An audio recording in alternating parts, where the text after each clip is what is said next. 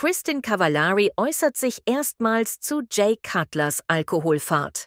In ihrem Podcast Let's Be Honest spricht die 37-Jährige über die Festnahme ihres Ex-Mannes.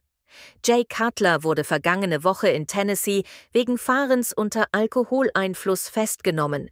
Christin informiert ihre Zuhörer, dass die neueste Podcast-Folge noch vor diesem Vorfall aufgezeichnet wurde. Sie bittet darum, dies beim Hören zu berücksichtigen. Die Reality-TV-Darstellerin betont, dass sie Jay nur das Beste wünscht.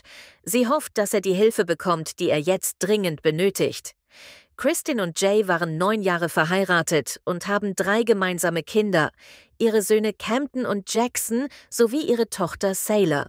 Das Paar trennte sich im Jahr 2020, die Scheidung wurde zwei Jahre später vollzogen.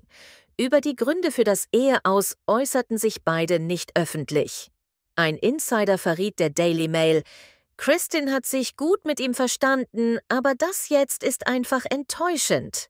Trotz der Trennung pflegten sie ein freundschaftliches Verhältnis, insbesondere für ihre Kinder.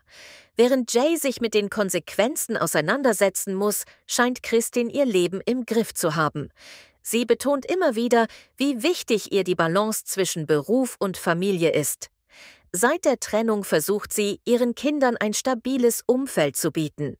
Ihr Privatleben hält sie weitgehend aus der Öffentlichkeit heraus.